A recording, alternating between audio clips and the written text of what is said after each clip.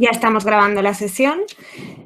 Sí que quería empezar diciendo que el investigador principal de Infolex, Sergio Tourné, se ha disculpado porque le ha coincidido este seminario con una defensa de trabajo de final de máster y lo ha sabido hace poco. No hemos tenido suficiente antelación como para hacer ningún reajuste en el horario.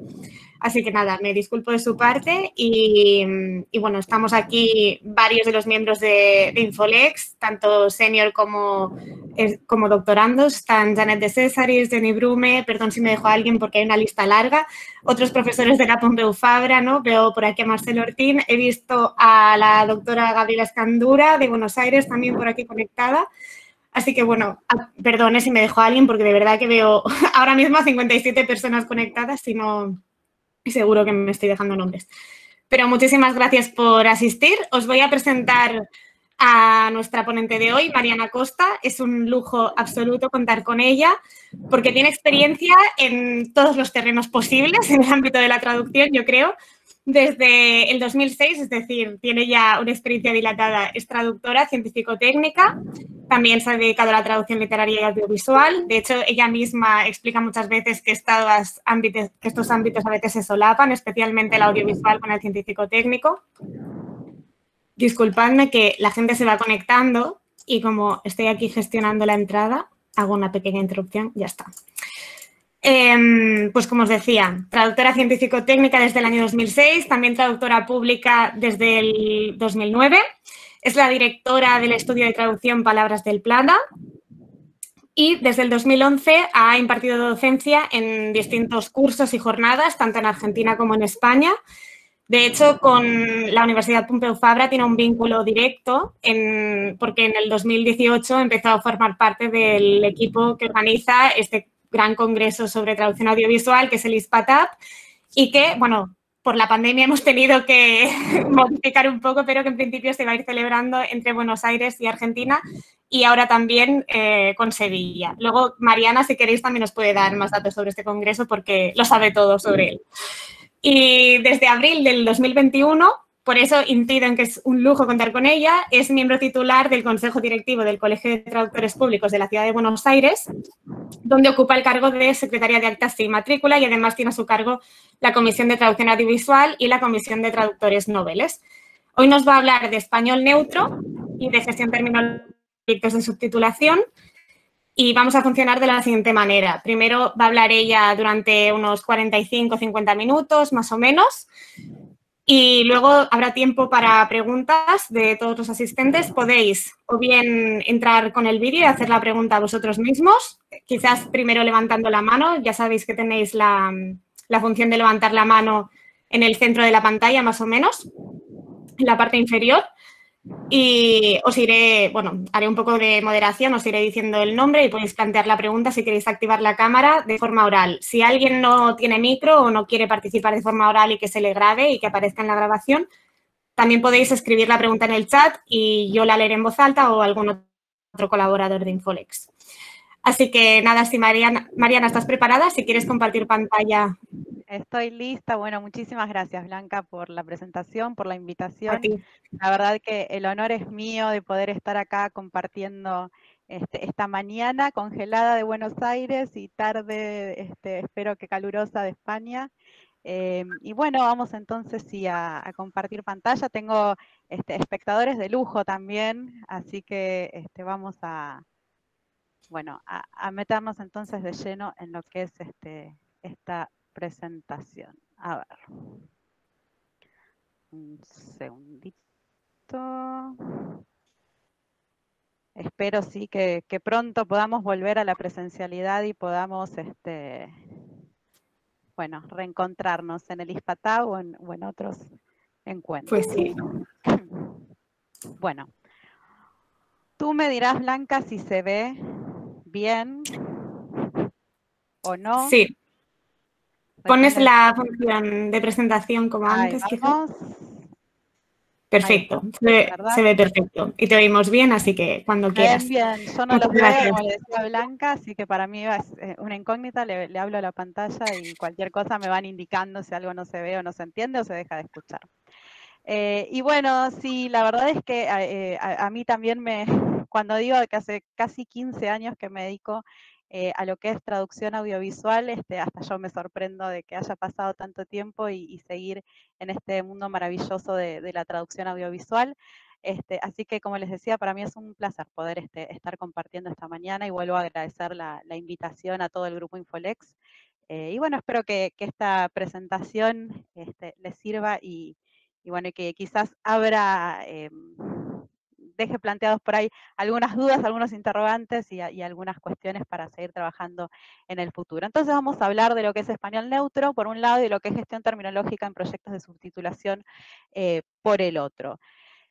Em, en primer lugar, y con lo que en lo que respecta al español neutro, vamos a, ir pasando un poquito por, todo lo, que es el español neutro en sí, si existe, si no existe, por qué hablamos de español neutro, por qué usamos el español neutro, cómo ha ido evolucionando a lo largo de los años y qué recursos tenemos em, para poder eh, usar este español neutro, para poder decidir qué es español neutro y qué no es español neutro.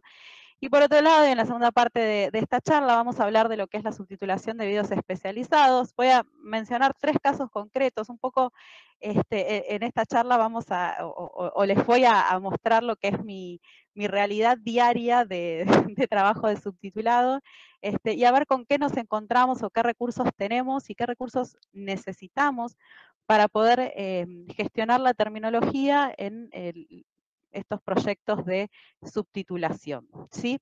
Y bueno, llegaremos a algunas conclusiones este, a ver si nos sirven. Entonces, nos metemos de lleno en, el español neutro, que la primera pregunta que nos, hacemos es si existe el español neutro, eh, como lo solemos llamar, eh, también se lo conoce como español internacional, español estándar, español global, tiene muchos nombres y han ido cambiando esos nombres, algunos se usan más, algunos se usan menos, pero la primera pregunta que nos hacemos es si este español efectivamente existe.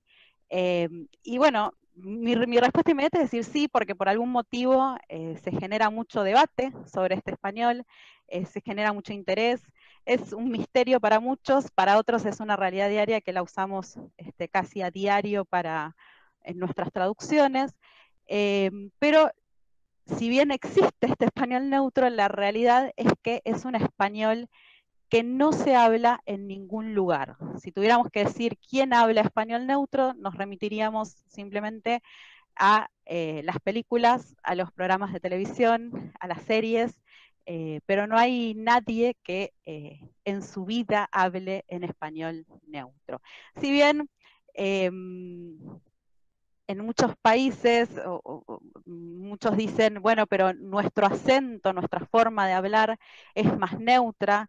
Eh, bueno, la realidad es que no, no, no es este, una variante de español que se utilice en ninguna región o en ningún país en concreto.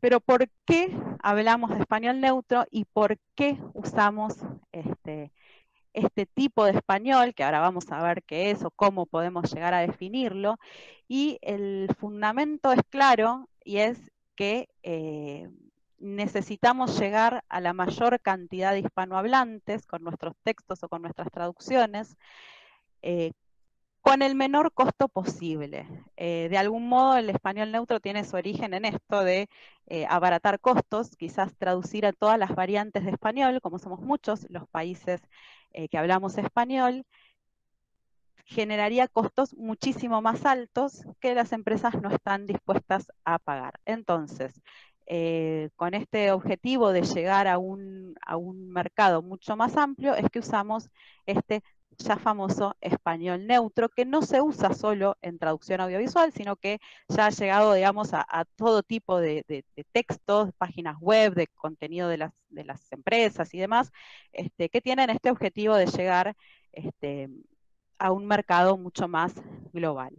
Eh, nosotros en América Latina, los traductores audiovisuales, tenemos la particularidad de que nuestro mercado es toda América Latina, entonces las traducciones que nosotros hacemos de series, de películas, para Netflix, para una señal de cable, para Disney, para este, distinto contenido, distintos servicios de streaming, eh, se ve en toda Latinoamérica. Es decir, no se hace una traducción eh, al español de cada país, una traducción localizada al español de cada país, sino que hacemos una traducción que se va a ver en eh, toda Latinoamérica, que mm, no es quizás el caso de España, en que sí tienen su traducción para España, este, de todo el contenido audiovisual, y en lo que es América Latina, en el caso de México, muchos, o, en algunas producciones, sobre todo en las producciones más importantes, también hacen, eh, además de esta, o se hace además de esta traducción para toda América Latina, una traducción específica para el, mercado de México. Pero en líneas generales, la realidad es que eh, como traductores audiovisuales, este, América Latina se convierte en un único país y en un único mercado, ¿sí? y es por eso que eh, traducimos a este español neutro. Pero vamos a tratar de definir o tratar de entender qué es el español neutro. Em, y la clave para entender el español neutro es un poco lo que les decía al principio. Es un español que no se habla en ningún lado, por lo tanto es una variante de español artificial, ¿sí? que se crea, que se, este, se inventa, por decir de alguna manera, em, y la característica más importante que tiene el español neutro es que eh, eh, tenemos que eliminar o reducir al máximo o evitar los regionalismos, los localismos de cada uno de los países, justamente con el objetivo que les decía antes, que es tratar de llegar a la mayor cantidad posible de hispanohablantes. ¿sí? Em, entonces, para que se entienda de manera correcta ese español en todos los países que hablan este, español, necesitamos que no haya localismos o regionalismos, que es este, justamente la, que son las palabras que pueden hacer que Em, bueno, que, comprendamos un texto de manera equivocada, eh, que no terminemos de entender este, el contenido y demás. Particularmente en Argentina, una de las cuestiones que tenemos es que nosotros hablamos de vos, cómo estás, qué haces, eh, y en el español neutro tenemos que eliminar ese voceo, ¿sí? tenemos que eh, pasarlo al, al, tú, tenemos que hablar de tú o de usted si corresponde, Em, que bueno, para, a veces para los argentinos es como un desafío adicional el poder sacarnos este, ese, ese voceo que tenemos tan incorporado. Eh, les cuento de todas maneras que también uno se acostumbra tanto a traducir o hablar o escribir en, en español neutro que las pocas veces que he tenido que traducir a español rioplatense y tener que usar el voceo y demás en una traducción audiovisual, en un subtítulo, eh, me ha costado muchísimo más que, este, que usar el español neutral que ya estamos eh, acostumbrados. En lo que respecta al acento o a la forma de hablar, si, si, nos remitimos al doblaje en español neutro, también lo que se busca es tratar de eliminar los acentos propios de cada uno de los países, ¿no? O sea, que cuando yo escucho esa voz, no me remita a ningún país o a ninguna región en particular, ¿sí? Em, no es tarea fácil porque siempre a alguien le va a sonar más a una región y más a otra, y determinadas palabras le van a sonar también más a un, de un lugar y, menos a otro, em, pero ese es este, el objetivo entonces este, y las características principales del español neutro sacar los regionalismos y lograr que se entienda de manera correcta en todos los países eh, de habla hispana o por lo menos en la gran mayoría de los países de habla hispana. Y como toda variante de un idioma, eh, en este caso artificial, pero no deja de ser una variante al fin, em, ha ido evolucionando con el paso de los años. ¿sí? Yo puse la imagen de Disney, además porque, bueno, fanática de Disney, pero porque de algún modo este, Disney siempre marca tendencias y en lo que es español neutro eh, también de algún modo va, marcó tendencia y va marcando tendencia. Em, como dato curioso, los primeros doblajes de, Disney, de allá por, 1941, 42, de Dumbo, de Bambi, eh, se hacían en la Argentina, ¿sí? lo hacía Argentina Sonofilm. Em, después ya em, a partir de 1950 con La Cenicienta, con Los 101 Dálmatas o La Noche de las Narices Frías, este, se pasó, el, doblaje se empezó a hacer en México, y esto es un dato interesante y ahora vamos a ver por qué. Eh, Edmundo Santos, que es un referente o, digamos quien en ese momento se encargaba de todo lo que era traducción, eh, adaptación y grabación de los doblajes de Disney, desde ahí, como les decía, más o menos desde, desde 1950 hasta la década del 80. Eh, bueno, se encargaba esto de, las grandes producciones de los doblajes de Disney que se empezaron entonces a hacer en México y de ahí en más es que la gran mayoría de los doblajes de las producciones más importantes de Disney y en general de, las películas en general se hace en México. Si bien en Argentina también tenemos un mercado del doblaje muy importante, estudios de doblaje muy importantes y traductores como recién mencionaba que estaba por ahí este, Gabriela Escandura, que es para mí una, una eminencia y un gran referente en todo lo que es español neutro y traducción audiovisual.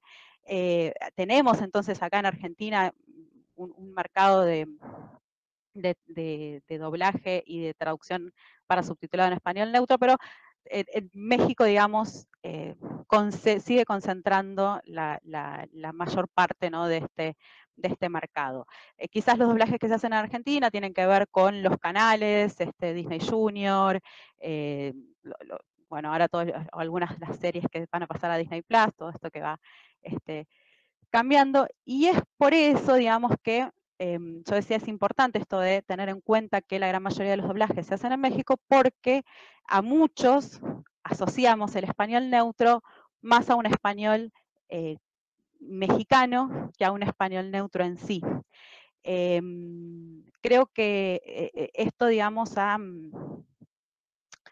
como les decía, ¿no? va evolucionando. ¿no? Cuando yo empecé a, hacer las primeras traducciones para subtitulado y me pidieron que era español neutro y demás, eh, en realidad lo que nos daban eran guías de cada uno de los canales que eh, te decían que podías usar determinadas palabras y otras determinadas palabras no las podías usar, pero no había como un eh, fundamento teórico, un motivo, eh, por ahí se prohibía el uso de una palabra tan común como genial, que en realidad no tiene que ver con el español neutro en sí o con que se vaya a comprender de manera incorrecta en algún país.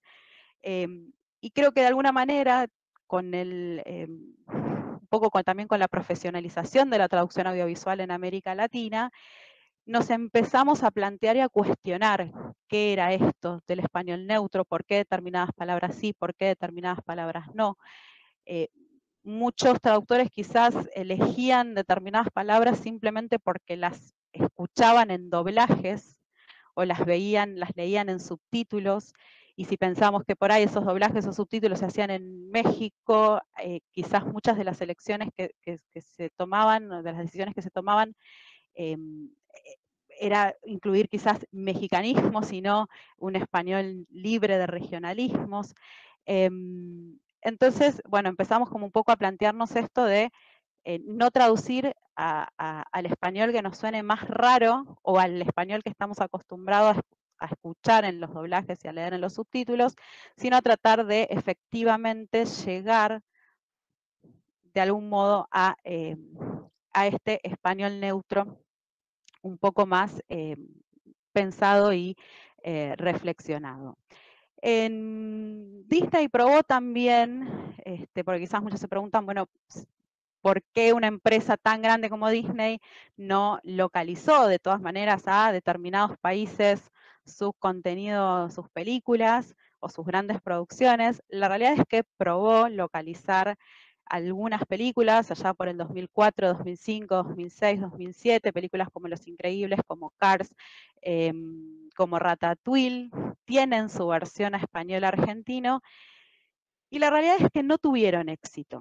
Em, en mi opinión, eso tiene que ver con que se, quizás se quiso exagerar la localización, entonces ya lo que nos sonaba raro era esa, esa localización y no el español neutro. Em, esto eh, de, de, quizás hacerlo muy porteño, de, em, de además adaptar cosas de la película, como que Los Increíbles estaban en una, avenida Corrientes acá de Buenos Aires, este, que eran, digamos, todas cuestiones que nos sonaban, que nos chocaron, digamos, al ver las películas así este, localizadas de esa manera. Em, se probó esto que en otros países sí funciona, como España y como en México, que actores reconocidos, no actores especializados en doblaje, sino actores reconocidos del mundo del espectáculo, hicieran las voces y quizás no tenían el entrenamiento para este, hacer este, ese tipo de doblajes. Y bueno, sonaba todo como mucho más artificial, localizado al español de la Argentina que al español neutro. Entonces, em, bueno, yo lo que creo es que, digamos, este español neutro, así como fue cambiando y se fueron probando distintas cosas, va a seguir evolucionando y quizás lo que en algún momento se consideraba español neutro, ahora ya no se considera español neutro y em, digamos, es, es, una construcción, al ser algo artificial, es una construcción que creo que todos los que trabajamos en lo que es traducción audiovisual y los directores de doblaje y los estudios de doblaje y demás, este, vamos construyendo de alguna manera en el día a día de nuestro trabajo. El mayor desafío que tenemos, este, como, como les decía antes, es encontrar una palabra que se entienda correctamente en la mayor cantidad de países de Latinoamérica, en la mayor cantidad de países de habla hispana, y que no se entienda de manera incorrecta, ¿sí? En ninguna parte. Em, cuanto más cotidiana o de uso más cotidiano es esa palabra, más difícil es encontrar eh, un, término que se, entienda bien en todos los países. Em, nos pasa, bueno, con, lo que son los alimentos, las verduras, las frutas, es tremendo. Yo no sé cómo le dicen ustedes a, a la imagen que tenemos en la parte de arriba. Eh, pero si buscan este, las distintas opciones, tenemos, no sé, 10, 15, 10 opciones para denominar lo que para mí es una chaucha, que para otros es ejotes, frijoles verdes, judías verdes, habichuelas. Este, lo mismo sucede ahí con la banana, plátano, guineo, maduro. Bueno, eh, no es tarea fácil en algunos casos poder encontrar este, el término que mejor se, adapte, que se entienda de la mejor manera en todos los países. Y como les decía, cuanto más de uso más cotidiano es, más difícil es. Lo mismo pasa, eh, qué sé yo, con la ropa interior, lo que para mí es una bombacha, para otros es una braga, o un corpiño, un sujetador, un sostén. Em, y en algunos casos podemos recurrir al recurso de usar una palabra más general, como puede ser ropa interior, como puede ser decir verdura o fruta eh, o vegetales, si podemos eh, digamos, tener como soporte la imagen ¿sí? que estamos viendo y evitar ese regionalismo, pero en otros casos sí o sí necesitamos poner el término y poner la palabra y vamos a tener que decidir eh, cuál de todas esas opciones que tenemos vamos a incluir en nuestra traducción tenemos eh, recursos, ¿sí? Para em, fundamentar o para, digamos, e, e, elegir qué palabra vamos a usar, pero lo cierto es que hoy por hoy no tenemos un glosario de español neutro, un diccionario de español neutro que todos usen y que todos apliquen, ¿sí? tenemos algunos recursos que lo que van a hacer es eh, ayudarnos a decidir y muchas veces la decisión la vamos a tomar no solo en función de qué es lo que estamos traduciendo, sino de cuál va a ser el principal mercado este, o el principal destinatario de esa traducción que yo estoy haciendo.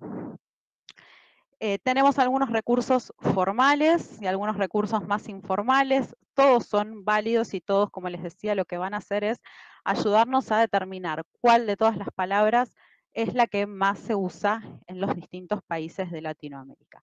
Vamos a ir viendo este, un poquito todos estos recursos que acá este, les puse en pantalla. En primer lugar tenemos el diccionario de la Real Academia Española, que lo que nos va a hacer es este, ayudarnos a, determinar si esa palabra que yo quiero usar eh, eh, se usa en qué países. ¿sí? O sea, lo que a nosotros nos interesa de la definición del diccionario de la RAE es ese, lo que está ahí en celestito, que es este, que, por ejemplo, chaucha es lo que se usa en Argentina, en Paraguay y Uruguay. ¿sí? Entonces, lo que vamos a ir haciendo con estos recursos formales es justamente determinar, bueno, si se usan estos tres países, ¿me sirve o no me sirve para mi traducción? ¿sí? Em, y, esa va a ser la información, digamos, sobre la cual yo voy a basar esta eh, decisión este, de determinar si esto puede ser, si esta palabra puede ser neutro o no puede ser neutro. El segundo recurso que tenemos es el diccionario de americanismos de la Asociación este, de Sociedades de, la Lengua Española, ¿sí? Em, que también lo que nos ayuda es a identificar en qué países se usa esa palabra y cómo se dice en otros países, ¿sí? De, eh, del español propiamente acá de América. En estos dos recursos que vimos recién son los recursos, digamos, más formales que tenemos, ¿sí? Em, y que nos ayudan entonces a identificar eh, los lugares en los que se usa cada palabra. Recursos un poquito más informales, eh, tenemos esta página que es asíhablamos.com, eh, que es una página, digamos, de colaborativa. Yo puedo también cargar términos o definiciones y, contribuir entonces este, a esta comunidad que, va creando este diccionario latinoamericano, ¿sí? Eh, y el objetivo es el mismo, es poder identificar cómo se dice cada cosa en cada uno de los países de habla hispana. Otro recurso que también está muy bueno y donde tenemos además videos y, frases y, demás es este recurso que se llama Jergas de habla hispana. Em, algo que me llamó la atención de este recurso es que eh, la, autora, que se llama Roxana Fitch, em, comenta que creó este, este, esta página porque tenía una amiga española que era fanática de las este, telenovelas mexicanas, y entonces le escribía constantemente para preguntarle, bueno, ¿qué significa esta palabra? ¿Qué significa esta otra? y bueno, así fue como fue surgiendo como esta idea de poder em, armar un diccionario de jergas de habla hispana y, poder eh, también eh, identificar cómo se dicen las distintas cosas en los distintos países. ¿sí? Como les decía, también tiene videos sobre frases y demás, así que en ese sentido es un recurso muy completo. Siguiendo con recursos este, informales, tenemos mm, dos grupos de Facebook, unas diferencias léxicas en Hispanoamérica en España, que eh, nada, estos recursos nos sirven muchísimo porque estamos traduciendo y nos encontramos ante algo que no sabemos cómo resolverlo y podemos poner una foto de lo que yo necesito traducir y eh, decir, bueno, cómo preguntar, cómo le dicen esto en su país.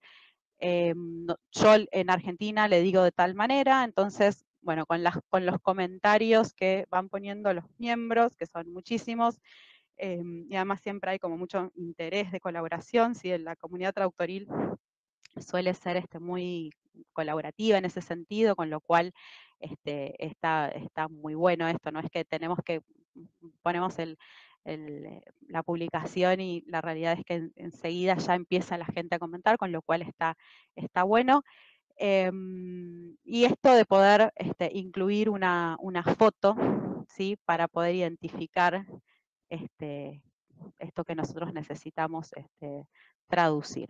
Y lo mismo sucede con Mapeando el Español, que em, es un grupo similar al otro, que eh, también uno a uno postea fotos o videos y demás, y entre toda la comunidad van diciendo, bueno, en mi país se dice de esta manera, en mi país se dice de esta otra, yo lo conozco de así, de esta manera. Lo importante cuando uno comenta en estos, en estos grupos es poner de qué país viene uno, de en qué país es que, hace referencia ese, término, eh, la ciudad, digamos, también, porque quizás en un mismo país hay distintas regiones y este, se, bueno, se dice de distintas maneras la misma palabra. Otro recurso que podemos aprovechar es el corpus del español ¿sí? del siglo XXI, que también lo encuentran en la página de la SALE. eh, o de la Real Academia Española. Eh, y lo, digamos, lo interesante también acá es que cuando yo busco un término también me va a aparecer este, a la izquierda el país en el cual eh, se, usa ese término, de dónde viene ese ejemplo que nosotros estamos viendo en el corpus, con lo cual también nos ayuda a poder identificar de dónde vienen este, bueno, esas palabras o dónde se usan. ¿sí? Bien. Em, otro recurso y que está publicado, pero que todavía eh, o, lo estamos como volviendo a revisar. Les contaba Blanca que yo ahora formo parte del Consejo Directivo del Colegio de Traductores Públicos de la Ciudad de Buenos Aires. Este glosario de español neutro eh, lo empezamos a hacer con la Comisión de Traducción Audiovisual, que en ese momento se llamaba Comisión de Artes Audiovisuales, el nombre se lo cambiamos hace poquito. En, allá por el año 2015, también de la mano de Damián Santil y de Soledad Gracia, que también este, trabajan conmigo muchísimo.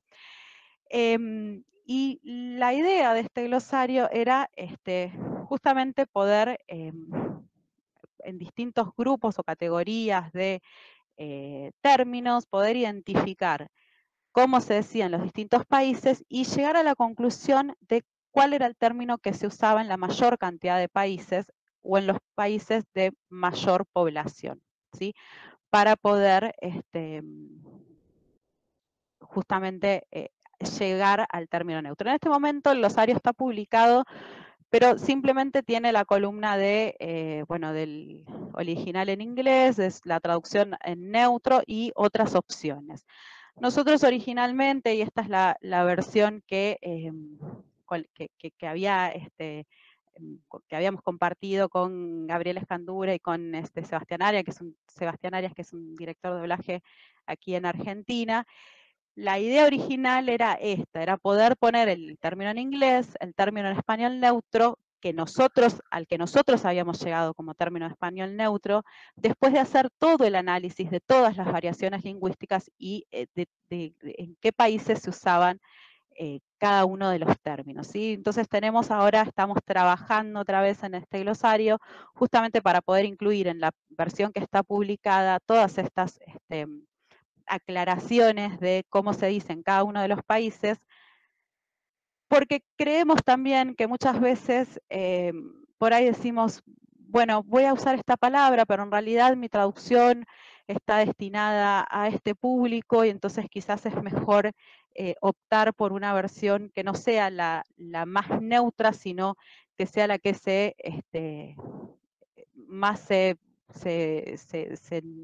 usa en determinados países. Y entonces por eso nos parece importante poder complementar lo que ya está publicado con este, esta otra pata de la investigación que habíamos hecho y que, este, que quedó sin publicar, digamos. Así que estamos trabajando en ese, en ese glosario también para poder ampliarlo y demás.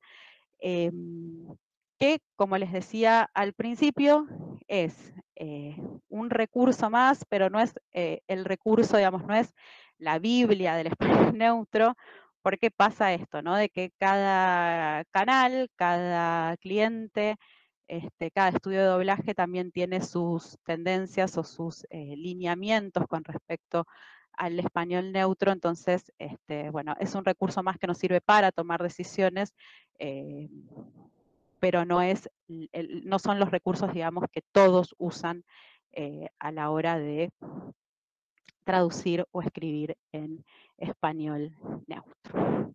¿sí?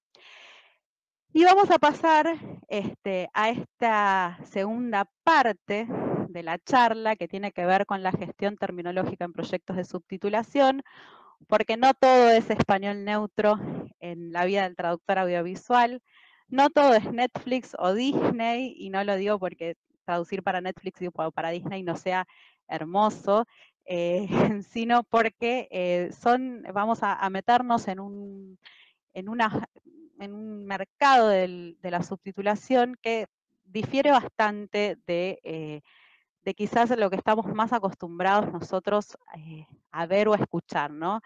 En general, cuando, eh, cuando dictaba más capacitaciones en traducción audiovisual, los, quienes se anotaban, el, objetivo era justamente ese, traducir su serie favorita, traducir este, su película favorita, traducir para Netflix, traducir para Disney.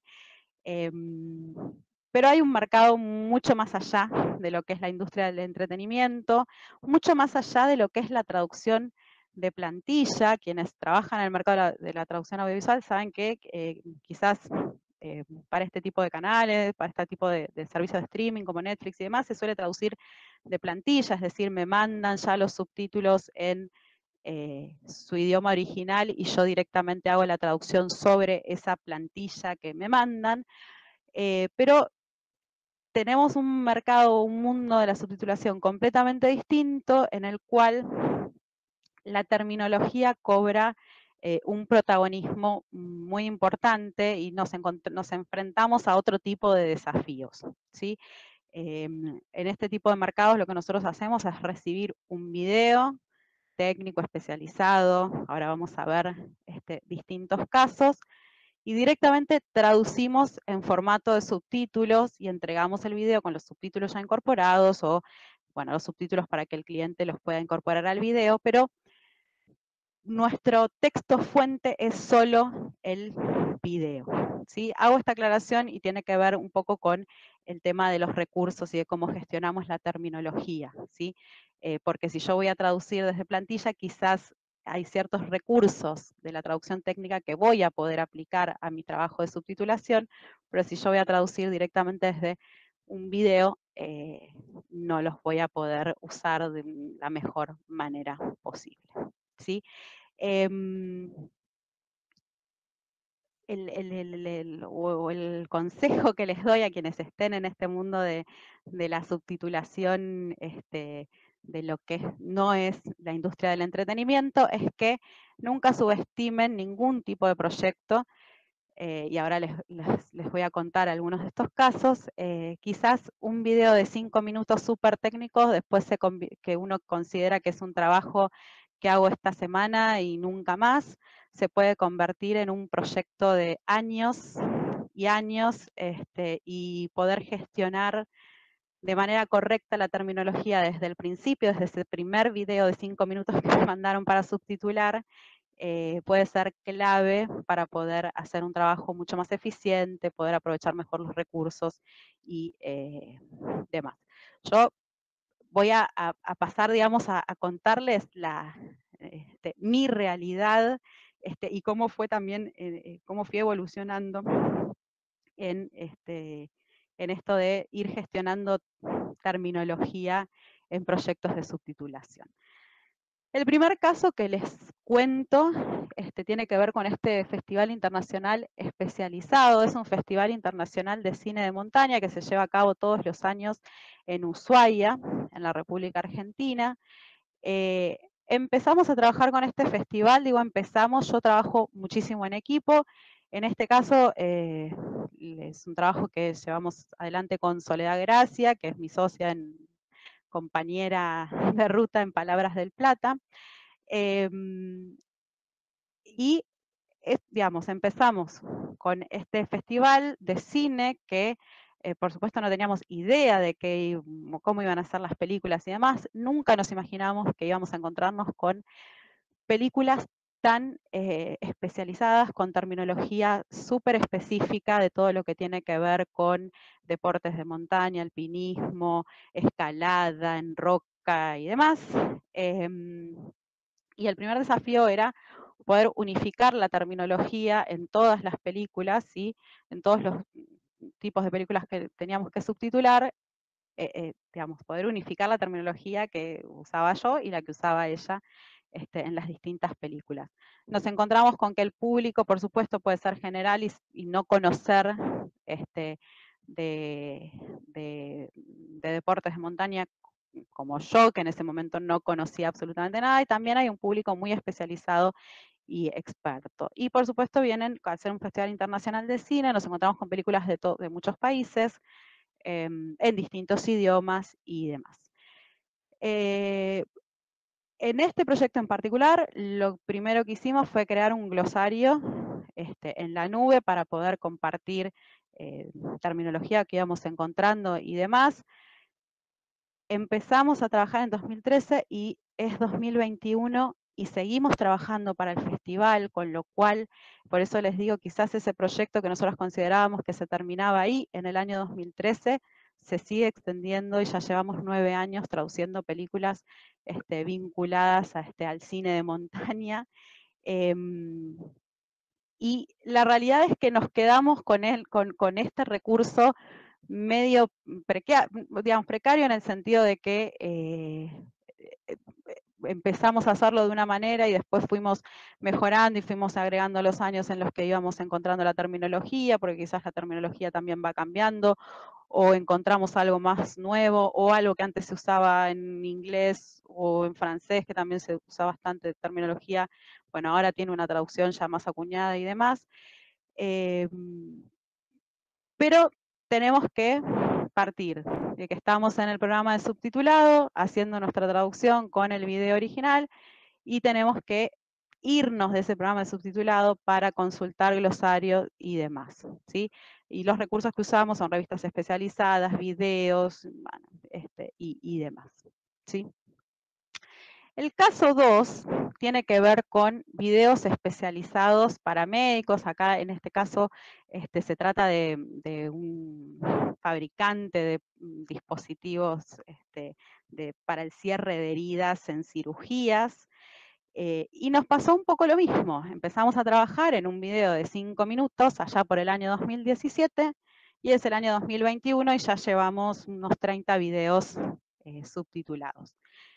En este caso, eh, la terminología es súper especializada, eh, además de la terminología este, propia, digamos, de este campo, nos encontramos con terminología propia de la empresa o con formas, eh, términos que la empresa quiere mantener de determinada manera por una cuestión de comercialización de los productos. Los destinatarios de estos videos suelen ser cirujanos que con estos videos aprenden eh, o empiezan a aprender a usar estos dispositivos. El objetivo es también convencer a los cirujanos de que estos son los mejores dispositivos para el cierre de heridas. En este caso en particular, además de videos, también hacemos traducción de materiales escritos, ¿sí? de folletos y demás, con lo cual contamos con em, otros recursos ¿sí? Eh, a la hora de eh, traducir, que son las memorias de traducción, las bases de datos terminológicas. Nosotros solemos usar Tradus, pero por supuesto cualquier programa de gestión de memorias de traducción o de bases terminológicas, bienvenido sea. Em, porque nos pasa esto, tenemos mucho material traducido de texto escrito y tenemos los videos. ¿sí? Em, volvemos a lo mismo. Por un lado tenemos el video que estamos trabajando en el programa subtitulado y por otro lado tenemos este, que abrir nuestro trado, nuestra base de datos terminológica para poder consultar este, la terminología. Ahora bien, como también tenemos muchos videos traducidos y muchas veces se repite eh, los subtítulos o las frases y nos parecía importante mantener la coherencia, o sea, nos parece fundamental que si el cliente es el mismo, digamos, mantener la coherencia a lo largo de todos los videos, vayan pasando los meses o los años, como les decía, eh, recurrimos a esto de armar un corpus con nuestros subtítulos para poder consultarlos de una manera más práctica. Porque, ¿qué pasa? Eh, me he encontrado subtitulando un video y decir, pero yo este, esta frase yo ya la traduje en otro video, otro año, entonces de ir abriendo subtítulo por subtítulo para encontrar a ver dónde estaba esa frase traducida y demás. Así que, bueno, la, solución que encontramos es de poder crear un corpus con nuestros subtítulos para poder consultarlos eh, de manera un, un, poco más eficiente. ¿sí? Y el tercer caso que les traigo, eh, y,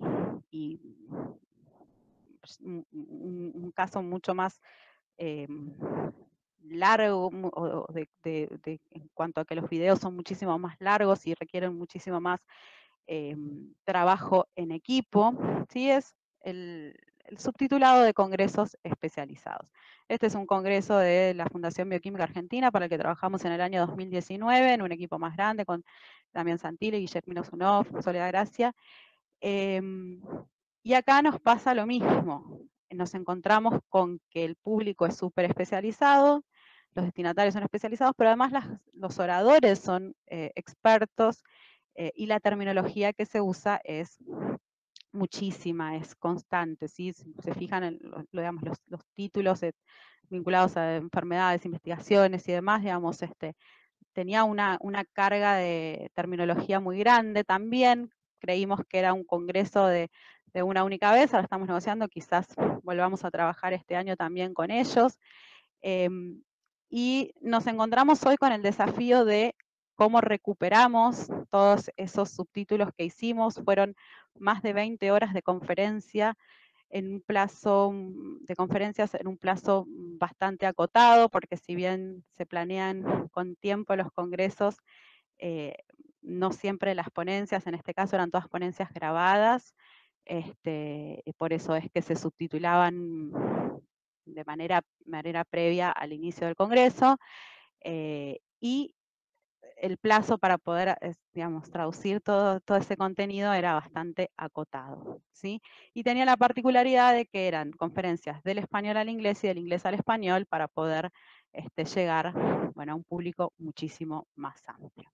En este caso nos manejamos también con un glosario que compartimos, em, pero tenemos esta dificultad que les venía diciendo, que es qué hacemos, porque tenemos que, este, fuimos, digamos, a lo, largo de los años tratando de optimizar esto de poder usar eh, la terminología que llevamos investigando, de poder, digamos, este, eh, optimizar y, trabajar de una manera más eficiente, pero la realidad es que eh, el trabajo del traductor audiovisual que se dedica a videos especializados este, termina llevando mucho más tiempo, si se quiere. Pensemos si a mí me llega un, texto de 500 palabras para traducir, de un tema que ya vengo traduciendo hace años, que lo tengo cargado en una memoria este, de traducción, que tengo mi base terminológica y tengo que traducir un texto de corrido, me va a llevar muchísimo menos tiempo que si tengo que hacer los subtítulos de un video de 5 minutos y tengo que, para usar cada uno de esos recursos, este, ir cambiando de plataforma ¿sí? en cada vez que, con cada término que tengo que ir este, confirmando, encontrando y, viendo cómo lo traduje también en otras, este, en, el pasado. Y aquí con esto vamos cerrando y un poco mm, la, conclusión o los desafíos con los que nos encontramos a la hora de hacer estas traducciones técnicas en formato audiovisual, es esta necesidad de poder mantener la coherencia a lo largo de los videos, de los meses y de los años en lo que es un mismo proyecto que se va extendiendo y que sigue creciendo, poder hacer un control de calidad de esa terminología, digamos, con las herramientas que tenemos hoy para lo que es la traducción técnica en sí, eh, podemos hacer un control de calidad mucho más eficiente y mucho más rápido que el control de calidad humano que uno hace. Eh, y lo digo por experiencia propia, me ha pasado en videos de la misma frase en el minuto 1 subtitularla de una manera y en el minuto 10 subtitularla de otra. Y a veces al ojo humano, cuando uno ya vio el video 10, 15 veces, este, esas cosas se nos pasan por altos que con una herramienta de traducción asistida eso no se nos pasaría. ¿sí? Em, entonces, digamos, acá el, gran problema que tenemos o, la gran necesidad que tenemos es poder, esa línea roja que divide la traducción técnica de la traducción audiovisual, poder borrarla y poder este, unir las este, herramientas que tenemos los traductores para la traducción técnica, que son buenísimas, y las herramientas que tenemos para la traducción audiovisual, que también son buenísimas, todas las, herramientas que nos permiten crear subtítulos y demás, como Subtitle Edit, Una, eh, Subtitle Workshop, si se quiere, digamos, yendo a, las gratuitas y a las más comunes. Em, necesitamos poder eh, unirlas de alguna manera, necesitamos este, poder consultar bases terminológicas al momento de crear subtítulos, necesitamos poder usar eh, eh, eh, memorias de traducción también a la hora de poder este, de, armar subtítulos y subtitular videos, em, para que la traducción audiovisual técnica sea este, más eficiente, eh, más rápida para poder optimizar el uso de nuestros recursos, ¿sí? como lo hacemos con la traducción técnica. Hay herramientas ¿sí? Eh, de traducción asistida como Traduce y MemoQ que incluyeron una opción para eh, subtitulado, pero que están pensadas para lo que es la industria del entretenimiento porque está, digamos, se requiere, se necesita este, que tengamos, tener la plantilla ¿sí? de la traducción, de, la transcripción original para poder este, traducirla ¿sí? al, idioma meta, eh, que no es el caso, digamos, de esto que, estos tres casos que yo les mencionaba recién, en el cual nosotros nos sentamos a traducir directamente desde el video. ¿sí? Eh, podemos pensar en la necesidad de que con reconocimiento, usar este, herramientas de reconocimiento de voz para poder tener la transcripción del video, para poder tener el texto escrito, para de ahí poder crear una herramienta de traducción, para poder crear una memoria de traducción. Eh, creo que opciones hay muchas. Eh, es un mundo que se está abriendo cada vez más y en el que se está trabajando. De hecho, hace poco respondí una encuesta que había eh, compartido Jorge Díaz Cintas de Aptec, en la cual preguntaba, digamos, qué recursos te gustaría tener en tu herramienta de subtitulado, algo por el estilo. Eh, y una de las opciones era, bueno, búsqueda de concordancia, memorias de traducción, bases terminológicas, glosarios y demás. Así que, bueno, mi deseo es que lleguemos este, a encontrar entonces una herramienta que nos permita unir estas dos este, especializaciones como es la traducción técnica y la traducción audiovisual. Y hasta aquí he llegado, espero que estén del otro lado. Este, como les decía al principio, no los veo. Seguimos aquí, seguimos aquí. No los veo, este, solo veo mi presentación. Así que, bueno, ahí tienen, ahí me encuentran este, quienes quieran seguirme en Instagram y en Twitter como Traducosta y mi correo electrónico mariana arroba palabrasdelplata.com. Este, bueno, y aquí quedo a disposición. Espero este, haber podido pasar por todos los temas. Voy a dejar de compartir pantalla, así los puedo ver. Sí. Bueno, pues muchísimas gracias, Mariana. Ya ves por aquí que en el chat te dan las gracias también muchas personas. Muchas gracias. Lo bueno de, ver la presentación es que no sabía si me estaban escuchando uno o dos. Te estaban escuchando, ¿eh? Además, te han ido añadiendo personas, o sea que has mantenido un buen quórum, ¿eh? Más de 60 todo el rato. Bueno. A ver, eh, os quería, bueno, no sé si alguien tiene preguntas. Ya he dicho que podéis participar o bien levantando la mano con el icono que tenéis en el centro de la pantalla, en la parte inferior, o escribiéndolas por el chat y las leeremos en voz alta. ¿Alguien tiene preguntas? Los dejé a todos. Este...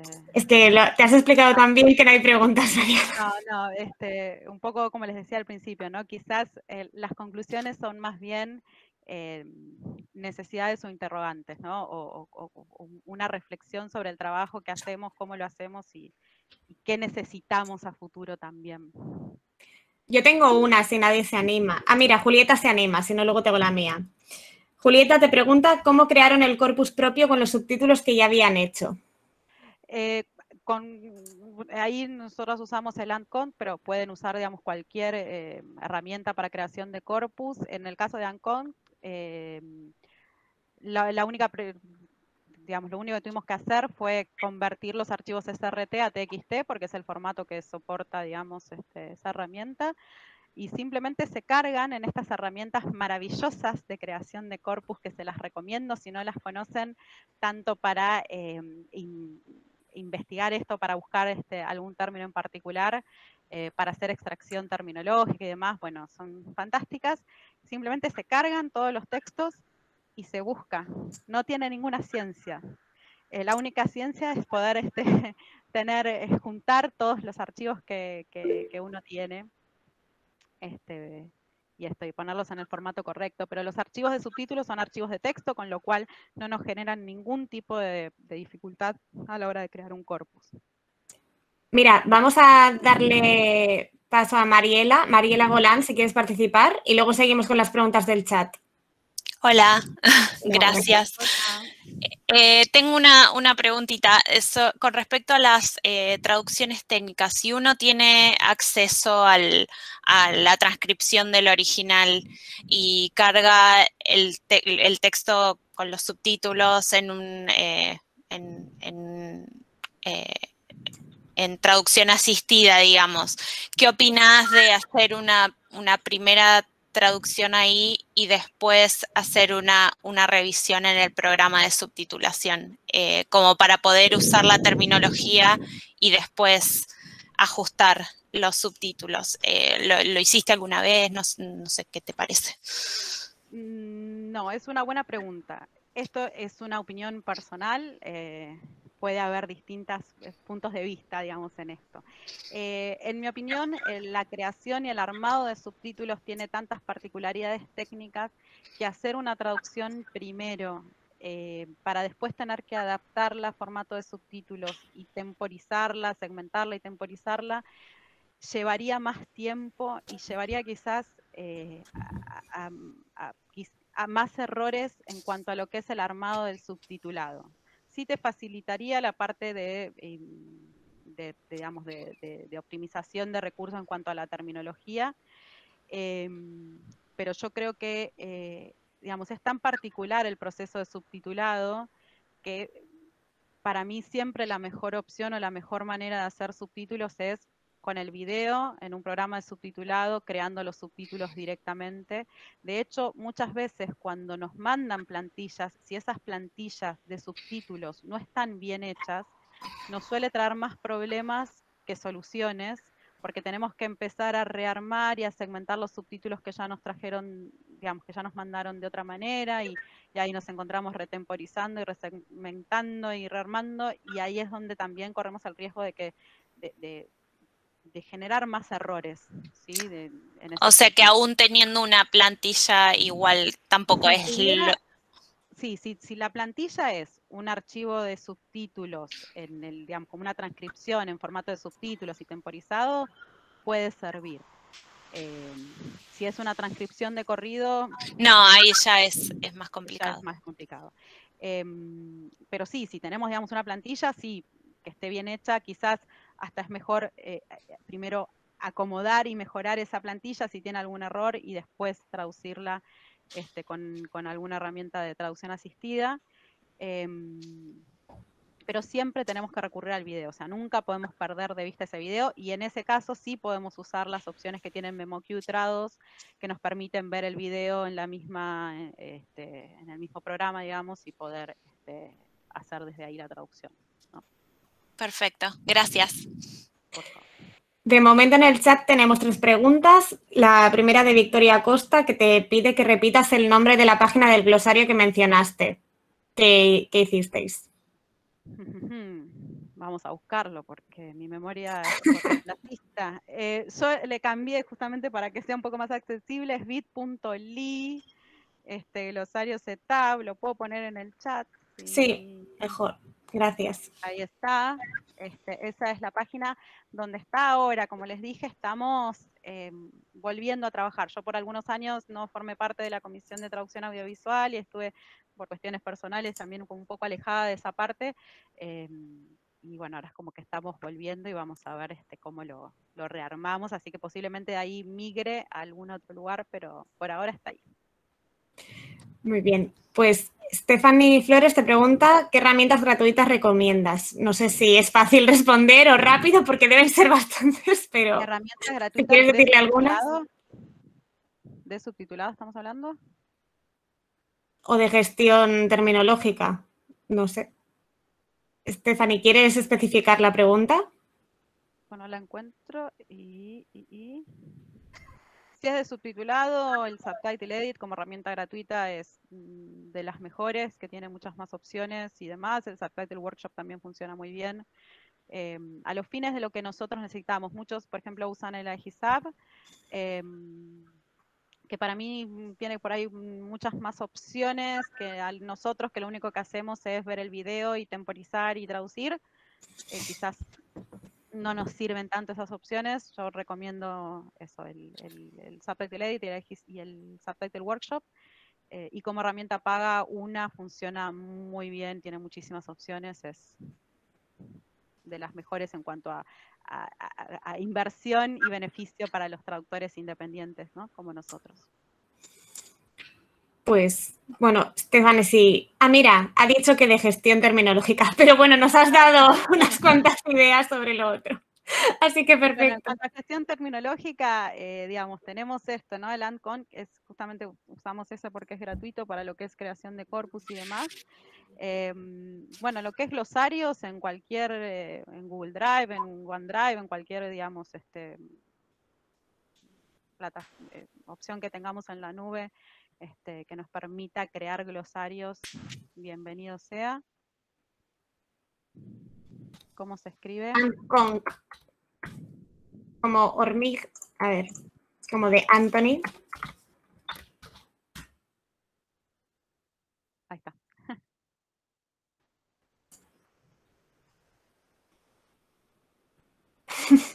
Nada.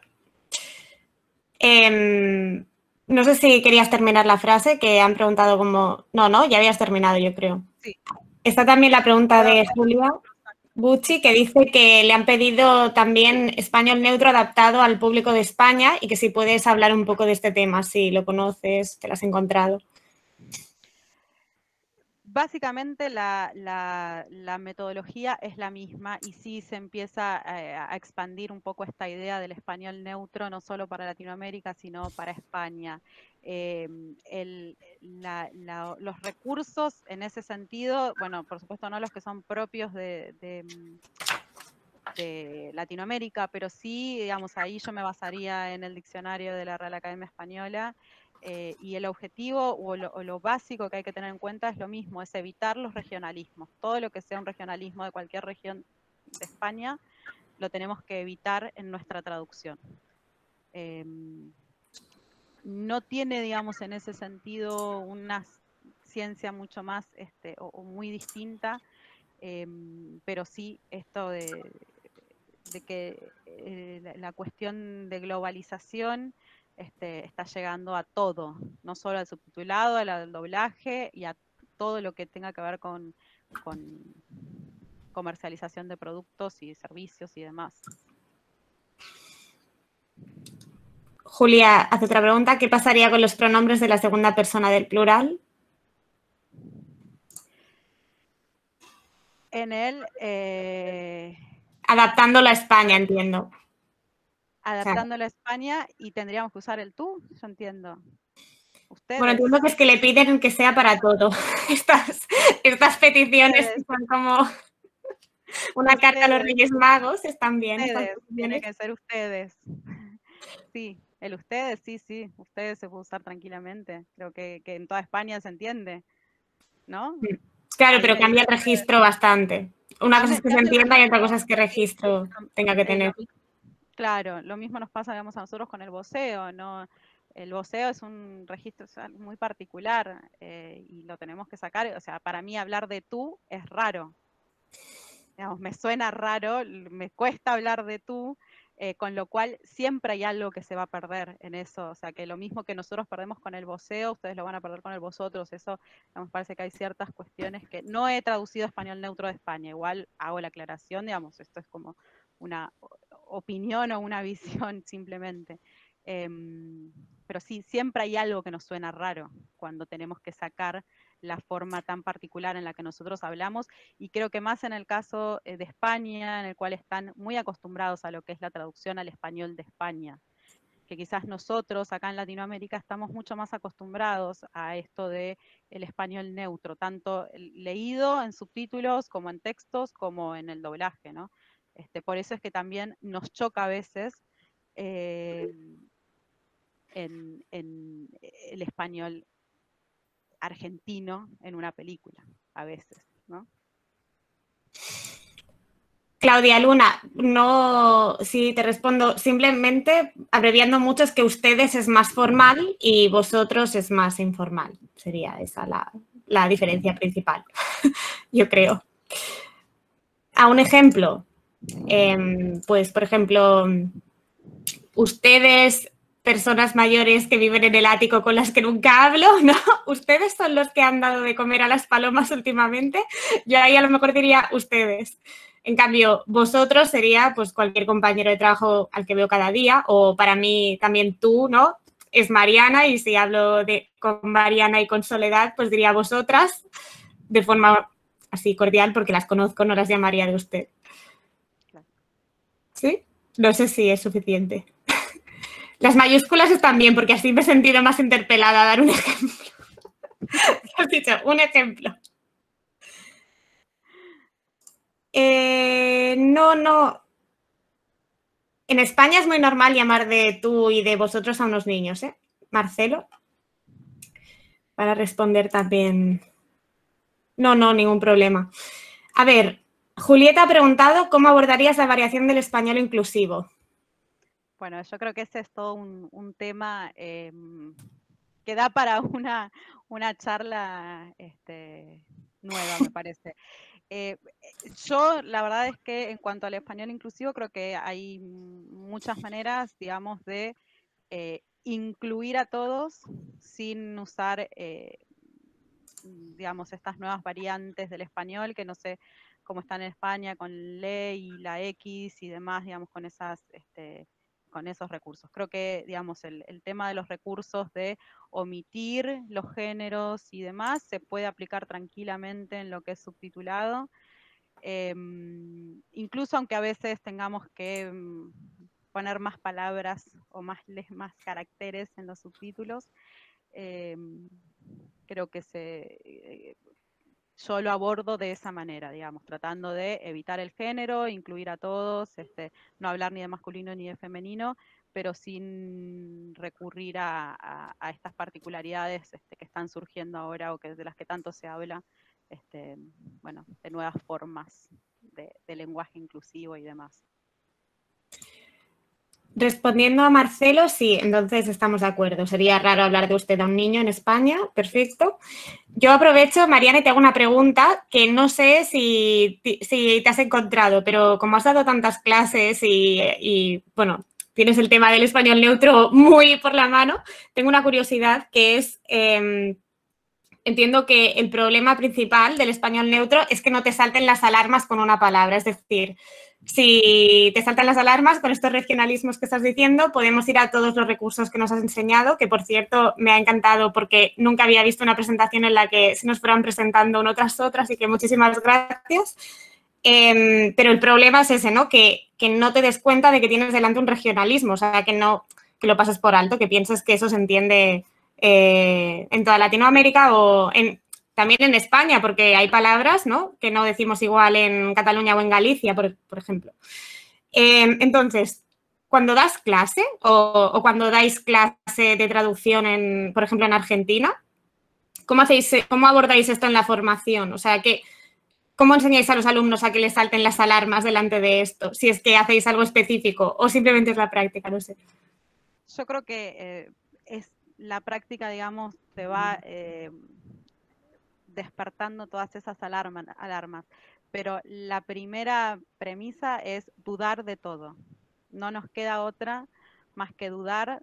Eh, no sé, en Argentina es muy común eh, para la t-shirt hablar de, remera y no se entiende en toda Latinoamérica y es algo que, eh, digamos, quizás poniendo estos ejemplos tan básicos que a nosotros nos sale y no lo dudaríamos nunca, que, que lo traduciríamos como remera, eh, yendo, digamos, a los, a, los, a los ejemplos más básicos, es que los, uno hace dudar, digamos, a este, al alumno y le hace plantearse, ah, bueno, si tengo que dudar de cómo voy a traducir algo que toda mi vida supe lo que era y siempre supe cómo traducirlo, bueno, entonces mucho más voy a tener que dudar de, de, cada palabra que voy poniendo de alguna manera, ¿no? Este, hmm. el, inculcar como esa, esa noción de que tenemos que dudar, tenemos que plantearnos y tenemos que sentarnos a, a pensar si realmente se va, se va a entender o no y si puede llegar a traer algún problema de que a veces el problema no es que se entienda de manera incorrecta, sino que a veces el problema es eh, que la persona se quede pensando, pero ¿qué es una remera? O sea, a, qué se refiere con esto? ¿no? Si, incluso, sobre todo si no tenemos por ahí la referencia. Entonces eso es un poco lo que tenemos que, plantearnos. Y luego, solo como comentario, me ha parecido muy curioso lo que has dicho de que os sonaba más artificial el doblaje en, español de Argentina que el doblaje en español neutro, de lo acostumbrados que estáis a, esta variedad, ¿no? Es muy curioso eso, ¿eh? Ahí, ahí tiene que, tienen que acabar saliendo muchos estudios de recepción porque es muy, muy curioso. a ver, hay otra pregunta. Perdón. No, no, que ahí el, el, problema estuvo en que también al no estar acostumbrados a hacer doblaje en español rioplatense, se, nos fuimos para el otro lado, ¿no? O sea, nos fuimos de un español muy artificial o muy este, con, regionalismos de otros países a un español demasiado este, artificial para nosotros también, que no es tampoco el que usamos todos los días. Creo que ahí estuvo. Tenemos una pregunta de Janet de Cesaris. Hola, muchas gracias por la charla que me ha gustado mucho. Y como hablante de inglés, quería contrastar un poco esta idea de, español neutro con lo que tenemos en inglés, que me parece que en inglés no, como mucho lo tendríamos para un país. Quiero decir que yo me considero hablante de, inglés norteamericano neutro y de hecho creo que la mayoría de hablantes tienen dificultad de de identificar de qué parte del país soy, aparte del este. Podrían decir este, pero este hay más de 100 millones de personas, con lo cual, y además es un territorio grande. Pero eh, la idea de que exista un español neutro me parece muy curioso.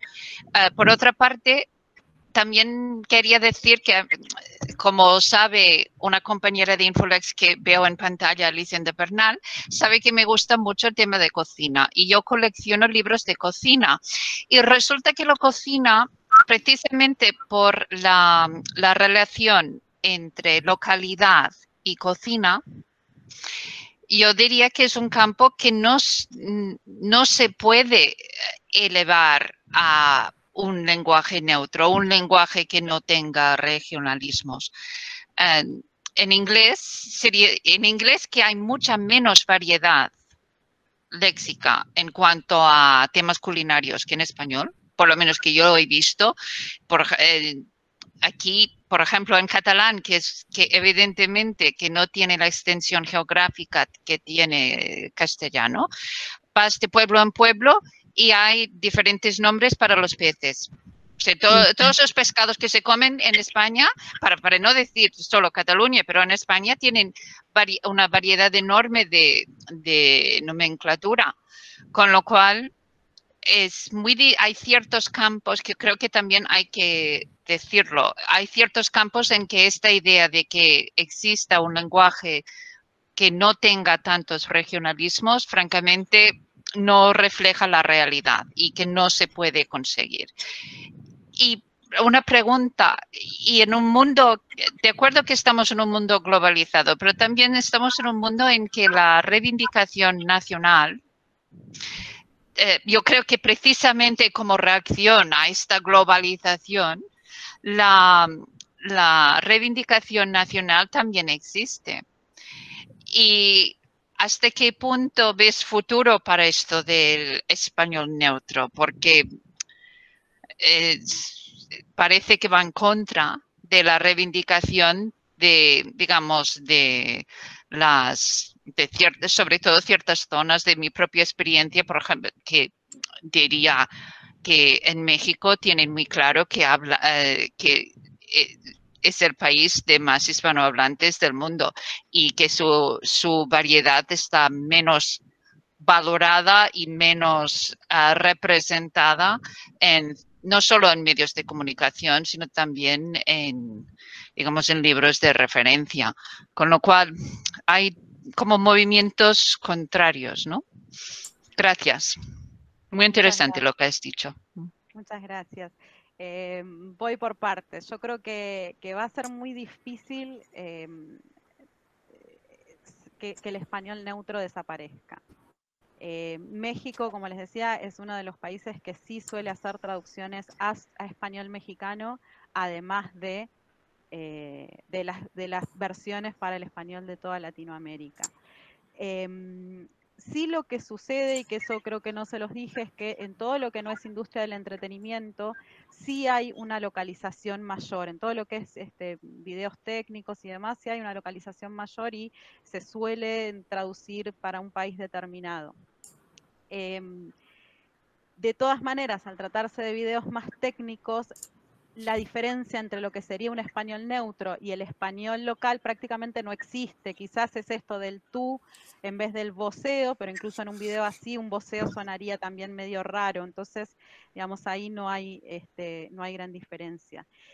Y sí coincido en esto de que, eh, pero perdón, no, le, no veo que, sea posible que, que, que, las empresas estén dispuestas, incluso en la industria del entretenimiento, a pagar y a invertir en lo que significaría una localización país por país. Eh, ah. creo que lo han intentado, por lo menos han tenido este, algunos este, atisbos de, ponerlos, de poner el tema sobre la mesa y realmente al haber fracasado es como no, encima con lo que cuesta hacer eso, este, se han, dado marcha atrás y, esto también opinión personal, creo que el español neutro eh, va a seguir evolucionando y va a seguir cambiando, pero no va a desaparecer. De hecho, parte de esa evolución ha sido que, por ejemplo, en canales infantiles, como Disney Junior acá en Argentina, eh, bueno, en toda Latinoamérica, eh, van incluyendo distintos regionalismos de distintos países en algunas series. Entonces, por ejemplo, en, esta primera parte del programa le dicen frutilla y después le dicen fresa a la misma a, la misma fruta, entonces, digamos, de alguna manera van como metiendo distintos regionalismos de distintos países, un poco también por esta imposibilidad, como bien decías, y a esto iba este, recién, que estoy de acuerdo, que en determinados campos es muy difícil, prácticamente imposible llegar a un español neutro real y, representativo, como bien decías. Em, el campo de, los alimentos y de las frutas, las verduras y la cocina es uno.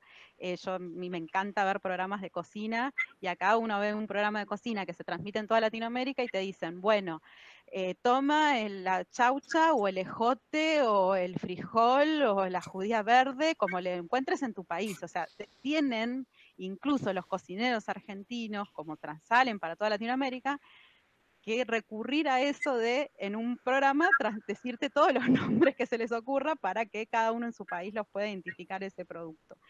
Eh, que es una realidad que en una película o en una serie que estás haciendo un subtítulo no lo podés transmitir y tenés que elegir por una de todas esas opciones, eh, que muchas veces, bueno, al tener el soporte de la imagen, bueno, pasa si, si digamos, si, no es el término que se usa en tu país, bueno, pasa en ese sentido. Este, y, se entiende, digamos, aunque no sea el término que, uno usa en, su país, porque bueno, tenemos el apoyo de, la imagen. Hay dos preguntas más en el chat. Em, una es de Marcelo que te pregunta si los congresos científicos eran simultáneos o si tenías el material ya filmado de, bueno, de antemano o grabado. No, en estos congresos científicos el material se filmaba de antemano. Originalmente íbamos a tener muchísimo plazo para hacer las traducciones, pero obviamente después los plazos para los ponentes se van acortando y se acortan los se van este, extendiendo, perdón, y se acortan los plazos que tenemos los traductores para subtitular. Eh, pero como era un congreso tan especializado, se hacían todas las traducciones de antemano, que también pasaban por aprobación del comité científico del congreso para, digamos, la, aprobar la terminología que también nosotros usábamos y demás. Y así que en ese caso era todo grabado. No es que teníamos muchísimo tiempo para hacer cada ponencia, a veces era un día para cada conferencia de una hora. Eh, y a veces teníamos un poquito más, eh, pero no mucho más.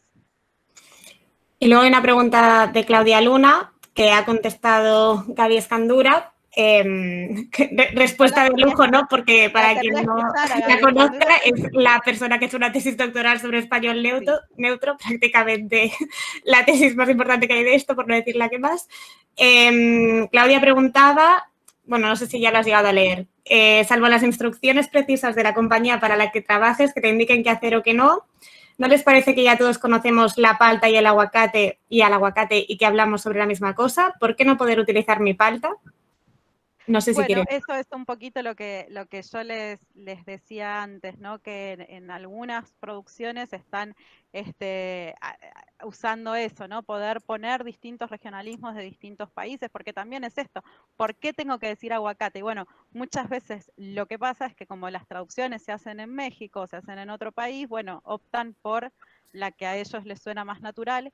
Y yo en este sentido aliento a los traductores de Argentina a que ante una situación así, digamos, también recurramos a esto de decir, bueno, de todas las opciones voy a elegir la que a mí me suene un poco más natural y poder usar palta.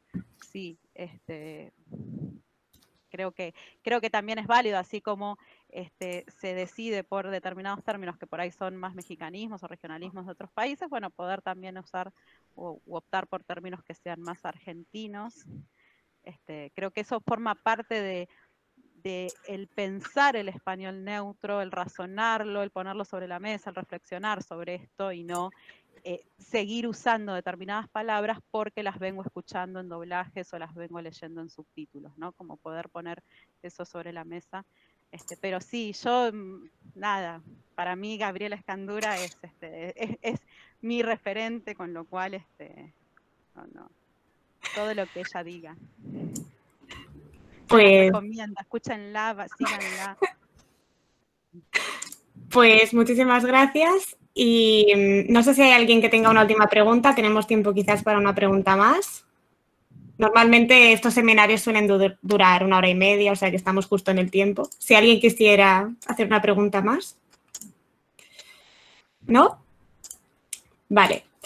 Pues si os parece lo dejamos aquí. Muchísimas gracias Mariana por toda la presentación que nos has hecho y ya has visto que al final se ha animado el tema de las preguntas y han ido saliendo cosas. Como os decía al principio, este seminario estará disponible a partir de la semana que viene en el canal del grupo. Os he dejado antes el enlace en, el chat. Si, si alguien no lo encuentra, nos puede escribir un correo. Y mm, bueno, hoy de hecho se terminan los seminarios del curso 2020-2021, así que muchas gracias a los que habéis venido a este momento, ¿no? que, también es especial para el grupo. Y el año que viene retomaremos los seminarios y os irá llegando la información eh, por todos los canales disponibles que, que tenemos y esperamos que os unáis también y que contemos con vosotros. Por ejemplo, Gaby Escandura, ya te puedes ir preparando, puedes ir calentando en el, ya, que estás por aquí, pues aprovecho para decírtelo. Y, nada, em, bueno, yo me despido ya, no sé si hay alguien más que quiera añadir algo del grupo. No, pues. Yo simplemente les vuelvo a agradecer muchísimo por este momento, por esta invitación. Para mí es un placer y bueno, y ojalá nos podamos encontrar también en la presencialidad, de este lado del charco, del otro lado, este, que, siempre es lindo también vernos cara a cara, además de a través de la pantalla. muchísimas gracias. Pues sí, es la parte que nos falta, la presencial. Muchísimas gracias a todos.